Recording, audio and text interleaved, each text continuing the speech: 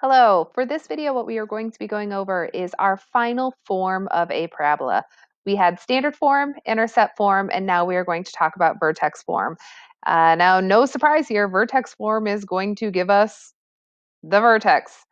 Uh, so here's what we have so far. First off, standard form. This gives us our shape and our y-intercept intercept form or factored form that gives us our shape and then our x-intercepts. In the last video, I think I accidentally said y-intercept, I meant x-intercepts there. Um, and then finally, our last one is going to be vertex form. Our vertex form is going to look like this. We're going to have y equals a x minus h squared plus k.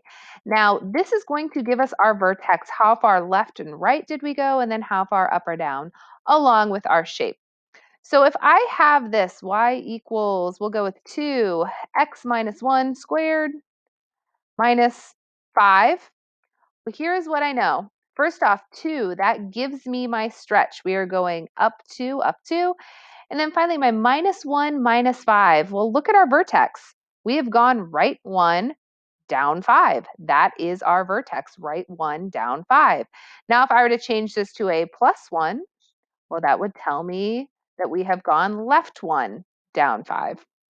Uh, and so vertex form gives us our shape and it gives us our vertex.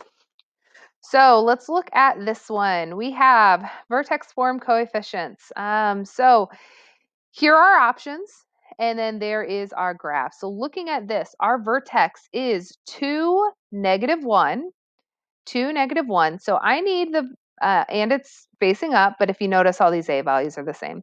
So I need the one that tells me, hey, we went right two, down one, right two, down one. All right, well, right two would be a minus two inside parentheses, and then a down one would be a minus one. So that would be our correct answer. All right, let's do one more together. Uh, for this one, which equation best matches the graph shown below? All right, so looking at this one, which equation matches this graph. Our vertex, we have gone left five, down five, left five, down five.